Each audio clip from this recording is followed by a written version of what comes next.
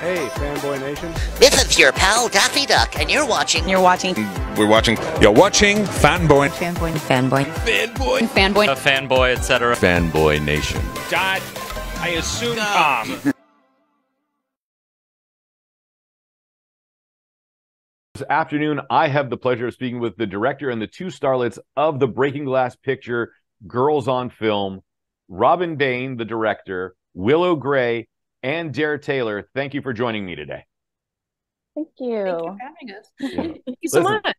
The by the way, the ending of the film totally did not expect that ending. I was thinking it was going to be, you know, one of the standard Hollywood endings that we would have expected where, you know, I'm not going to give it away, but like, you know, oh, of course it's going to end like that. You know, but no, there was there was a twist. You know, I like the different ending that went along with it. So I have to commend you on that first and foremost. Thank you. You know, I don't know what to say without giving anything away, so Right. I'll just say thank you. it's an unexpected ending. That's what we can say. Right. All right? okay. Yeah. Uh, Darren, Darren and I have met before on another film, so it's great, great to see you again. Um, your character is a cam- well, thank you. Uh, your char- your character uh, is a nursing student who ends up uh, becoming a cam girl to pay for her rent and for her education, and ends up getting evicted from from her pla- from her residency because her manager finds out and Willow's character is the super rich girl that just wants a friend that essentially endangers everyone that comes near her. Is that the basic gist that we can give to everyone without giving too many spoilers? Yeah, I, I would say so. Um, I always like to describe it as a dark drama um, with some fun little laughs in the midst of it because there are some good happy moments in this film that you can kind of giggle and relate to. But yeah, I would say that's a pretty good synopsis of what our characters like who we are and what we're going through. Um, yeah, Willow, do you have any thoughts? Yeah, I mean, both characters in their own way just represent different insecurities and different struggles that people generally go through. Like you said, I need a friend. It's like no one wants to be alone. And like when you look at it, like the overarching story through that perspective of what each are individually going through, like as Dare said, there are like really sweet moments because you realize that like it's just two women going through it and trying to figure it out. You know, Robin, how did the story come about and, you know, what was it like working with Breaking Glass as the production company? Uh, well, this is actually the second film I've done with Breaking Glass, so um, they're amazing, and I love working with them, and uh, they're so supportive and um, really kind of let me artistically do what I want to do. And on this one, I just wanted to kind of um, delve into the toxic relationship between two women because um, just regardless of explore uh, the you know um, consequences of power and control and that toxic behavior. you know they're seeing it's the toxicity happens not only in romantic settings but also in friendship settings. And this is one sure. where sexuality is used not only as a power play in you know uh you know a, a friend struggle but eventually becomes a romantic one. And the power of sexuality and how it can uh, dominate a relationship. Was that something that was like in the in the in the foreground when you were working on the story For sure, because I think that, like what you just said, uh, sexuality can sometimes take over a relationship, especially in the beginning of a relationship, and you become blind to certain problems or issues that you otherwise might notice. But even in a friendship, if you're just a regular friendship, those things can happen because you're swept away in the fun and the happiness and the good times and ignoring any red flags or anything that might come your way. Uh, you know, Dare, we mentioned this in the uh, early part of the pre-interview that at one point you were doing, you know, some of that cam work yourself, and then eventually you've moved on and, and become a content creator. You're now also a film producer. When you read the script, like how similar was that to either certain experiences or to things that you're like, oh, this is great to touch upon because people might not know this world from this angle? Yeah, when I first was given the audition page, I instantly connected with the story just because of the timidness of this character. Um, you really get to see Rain or Jenna go through a journey. Like she is very timid and very inclusive at first, like very shy.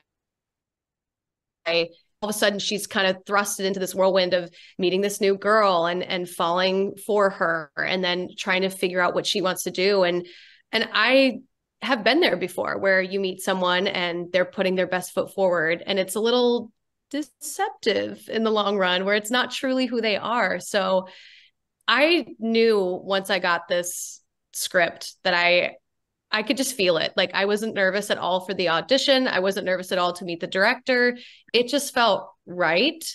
And I could really connect with the character just because I do have that background of working in the adult industry, despite I didn't take it as far as my character does, but I, I do know a lot of young women who have gone as far as my character has. So it it just truly came naturally and it, it felt right and it fell in my life at the perfect time and willow you like myself as an only child um, you know so you can understand when your friends go home or when you went home from your friend's house being by yourself how much of that like childhood loneliness plays into your character in this?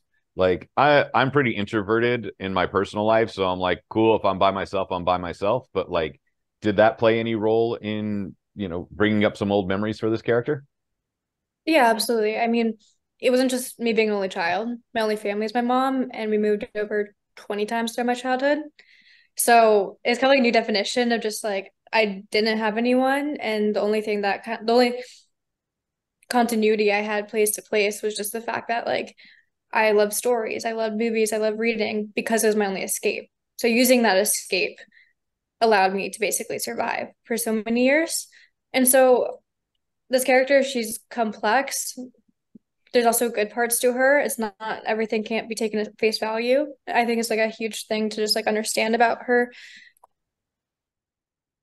to like come in and audition because I don't there is that like deep understanding. It's like again, that like motif of just like being lonely and wanting to have someone and you learn what she goes through throughout the movie or what she's been through and it provides more context into why she is the way she is um, which i think is beautiful and as someone that like while i may not have necessarily turned out exactly the same in a lot of ways i understand where she's coming from because i've had similar experiences myself so using that it it did like what dare said with hers is like it felt right you know, Robin, the name of the film, Girl on Film, is uh, right, or Girls on Film is right on the nose. But we also mentioned it's a Duran Duran song that right. you and I are both quite familiar with.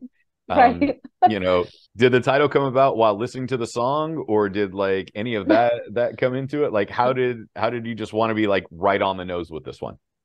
Well, in all honesty, the the uh, originally I had titled the movie Rain after Dare's character. And um, when Breaking Glass kind of took over, we were passing back and forth lists of potential names, and Girls on Film was one of those names that everyone agreed upon. So that wasn't really my brainchild. Okay. Although I do like that song. It's a listen. It's a great song. We had it Dare look song. it up because you know. I know you girls should listen to it later. I was like, thank you for not including me in that. Right. Because Willow didn't pick up her phone in the middle of the pre-interview, like, going, "Who are these people?" I'll, I'll look it up after. You know, Willow, now Willow's going to get a whole new wave page on Spotify, just just yeah, blaring exactly. some classic stuff. She's gonna be like Adam uh, Adam Ant. Who's that? Like it's gonna be all these people. That Another rabbit hole. Right right you know this weird this weird english guy dressed as a pirate which is going to end up in robin's next film. So probably. Yeah. But robin you've done these type of films before where you know uh like you know girl lost and and different and different aspects of um you know female characters having to go through these hardships. You know is where do these stories come mm-hmm. from? Like people that you've known that you want to share these stories or just not enough of these sh- stories have been shared I think a little bit of both. I mean, um, I uh, lived in LA. I moved to LA when I was 18 years old and lived there for uh, many, many, many years, more than I want to actually say. But you just encounter so many, especially because I started as an actress, so many women struggling and dipping into different parts of the industry, dark side, good side, so many ups and downs and i think it was just always interesting for me um, and i like to watch movies like this so it was sort of a natural progression to kind of want to make a movie like that. Okay and you know because la does have its darker seedier side so it's uh it's uh-huh. interesting that it's being revealed since that doesn't happen too often you know? We're we're blinded by the tinsel and uh and not by the boulevard of broken dreams. Yeah there's there's a very large boulevard of broken dreams. I mean most people don't make it and it's really hard and you have to deal with so many things. Um i want to say just as a woman but i think that probably men go through it too especially if they want to be an actor. I mean there's just so many ups and downs. I, I can't even tell you like the road to even get to be sitting here talking to you has been paved with a lot of heartache. And i think it just comes through in my writing it, this is for all of you is it a little easier when you work on your own project in your own independent film that you don't have a bigger studio putting their hand into everything that you're doing so you're allowed to tell the stories that you want? I mean really kind of the reason for me to do it is that I, I am a little bit of a control freak and on top of that i don't want someone whispering in my ear well they should do that when they're you know a 45 year old man who's never been a 25 year old woman and has no idea what they're talking about. You know i don't want that noise. And so for me it's it's better to just keep it small and tight. And we had such a small crew and just like it was very intimate. And i wanted it to be that way because these two girls had to go through so much. It was such difficult material. Um, and i didn't want any like pressure or bad feelings or, or you know being nervous or any of those things to to come about. Because that could have happened if we had 20 people staring at them while they're delivering some pretty serious lines. I don't know. How do you two feel about that? I've I've said this before, even more so than like having an overarching like power figure like looming. It's like it makes such a difference having Robin as the director, having a female like more specifically, just like across all of her movies, specifically this one, is dealing with a lot of sensitive material that, as she was saying, like comes from being a female, especially in LA. And it's hard. And it's something I think a lot of people could resonate with and not something always really touched on. So yeah, having that like we knew each other very well. It was like a very intimate set where just like it felt safe and it allowed us to not feel like we're trying to like please anyone else over there and just allowed like Dare and I to do the do the characters to the best of our abilities, and Robin to do what she does best. Yeah, I second everything they both said. I I've been on big sets before where of course things happen. Like you can't predict what's going to happen on any film set nowadays. But I have something really special with this project specifically that it primarily was a lot of women um, on board and and driving this ship essentially. And i feel like it only brought us closer together. And it really made us better actors actresses directors in the sense of like it we weren't sending one person to communicate. Like it wasn't eight people trying to talk to us and try to tell us what to do. It was simply just robin communicating straight to us. So it it does add a sense of like camaraderie team building and I I personally really appreciated that. There was no point where Robin came to me and was like, "You wouldn't do that if you were a cam girl." She was very much so, "You've been in this world. I'm curious, what are your thoughts?" And then she would take my thoughts and translate it. Um, also, same thing with her and Willow. She asked a lot of times for our opinions on even like the smallest things, but it created such a good experience and a healthy balance on the set. So it, it really is like a labor of love from not only just Robin, but all of us, since we all got to work together so intimately. You know, and there a lot of people get stuck in that shoebox uh, of an industry, yet you've been able to expand out and move away from that. What is that like for you to be able to move away from that and now to be recognized more as a performer and a content creator? It's a journey. it is definitely a journey. I primarily started off as an actress. I actually got discovered when I was 10 to move to LA and pursue acting.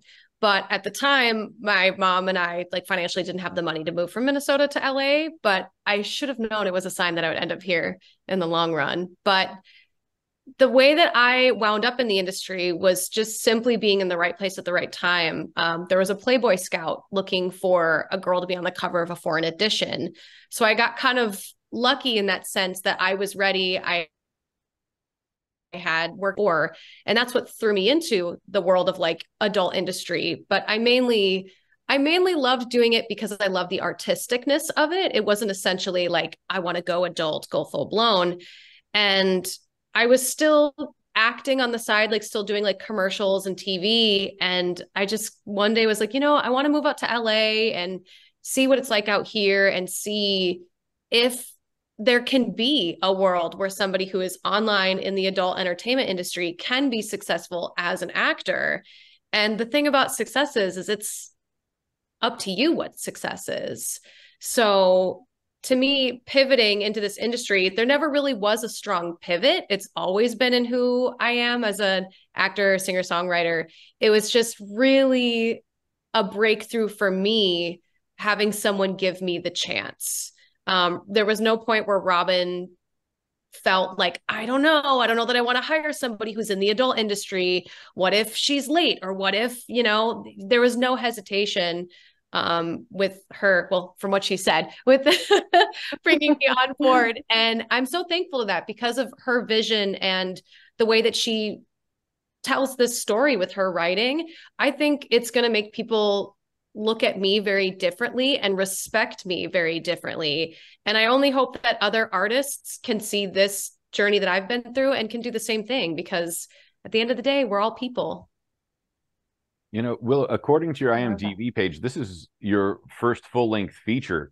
When you get cast in something going from, you know, a TV role and a short film to now this full blown full length feature film, you know, how excited are you as a performer? And then to get such a heavy role as Blake and all the stuff that she's going through in dealing with loneliness and an absentee father and, you know, having these finances but no emotional ties to anyone like you know how do you build off of that like out the gate? Um i mean i'd say in the sense again like i've always been acting in some capacity. I love stories. I got into it because i would read a book and read a character and get such a bad book hangover that i just become the character for the next few months. So i mean a lot of it like as we said is just like you you find like what's common between the character and like how that overlaps with your own life and like in this circumstance too it's like a lot can be drawn upon. And i was so excited to be part of this because also i get to do what i love for like an extended period of time. It's amazing. And with like the best people and most comfortable environment it was such a great opportunity. And I, I don't think that like in the sense that like she is a dark character and that's hard. It was like it was tough material overall because we're having like sensitive information and just like it's it's there are difficult circumstances but i don't think that necessarily made it any harder. I think just like the challenge of it made it even more exciting that i had the opportunity to start off with such a complex dark individual. And now the film comes out from breaking glass on uh, november 7th uh, via vod is it going to be on all the standard platforms as well? Yes i believe so. I mean i i actually um i know amazon prime um, I saw online today it would be uh, Spectrum as well, and but and Tubi at some point, but I'm not exactly sure, and I should have gotten that information before this interview. But... it's all right. Yeah. The good thing about Tubi is Tubi takes care of the people that that they work with, from, from yes. what I hear, especially with independent films. I love Tubi. Yeah.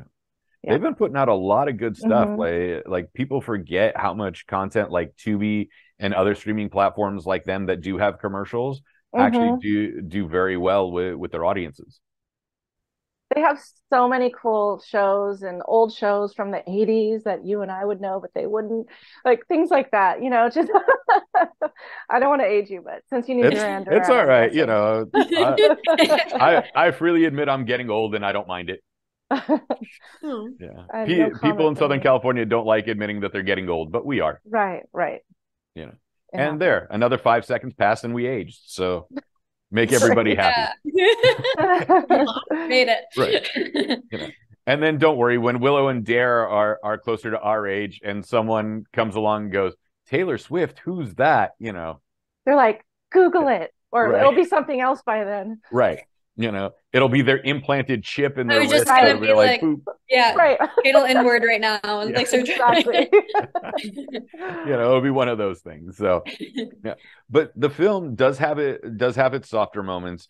Um, you know, the character of Blake Willow's character does have moments of, you know, I don't want to say pity, but you you start to feel for her at some point. She's just not this sociopath that wants to abuse everybody in her in her way. You know, there is reasons for why her character is this way. You know, same with Rain. Rain is evolving, and I think you have the most character growth with Rain because not too many stories will develop that way. Of, oh, it's a cam girl. Oh, the you know she got taken advantage of. Oh well, like you know there there's so many more layerings in this. Uh, what have other critics' reactions been to seeing the film?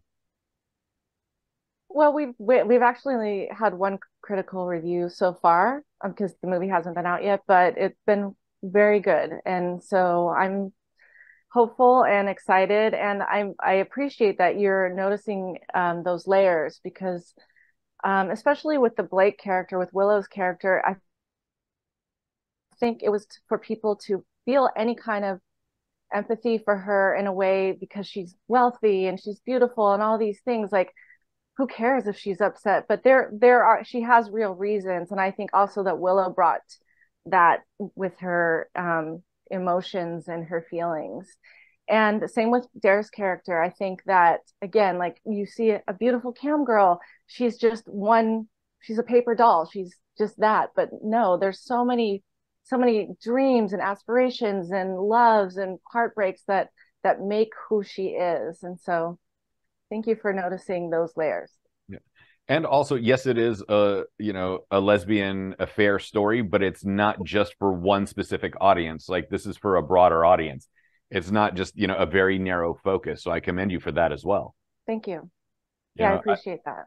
Because a lot of people like when they make a you know a community centric film it's Mhm. very hyper focused on the community that people outside that just go all right whatever. So like right. you know for me if your story wasn't this open you know since i'm not a part of that community clearly Right. um you know it's Wait, like? What's that? no like you're not I. I know who would have guessed a six foot three uh, three person that looked like me isn't a lesbian. You would have, you know, never guessed.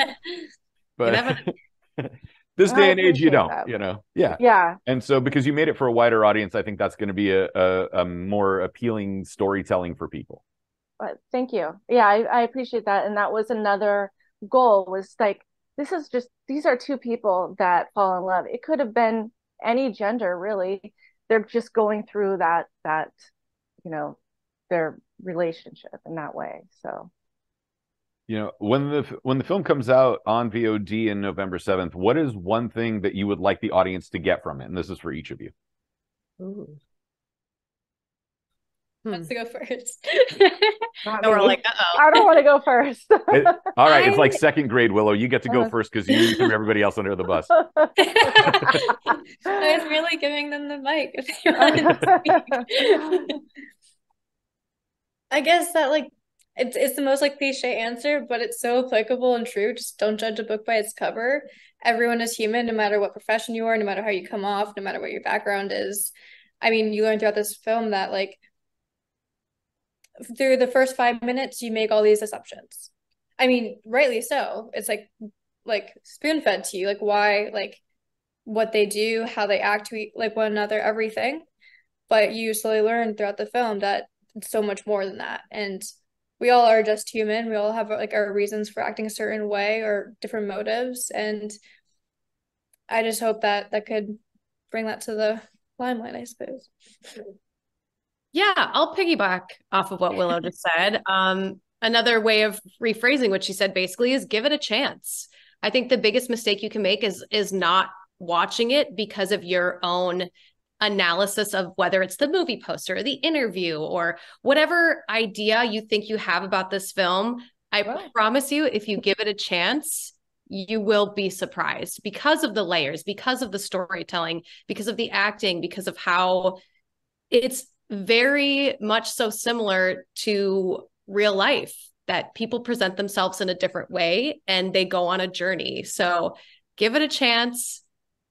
watch it and go on a journey with us because it will it will open your perspective. I can guarantee you that. So give it a shot. Take us home, Robin. I honestly don't think I could say it better than they both did, honestly. I mean,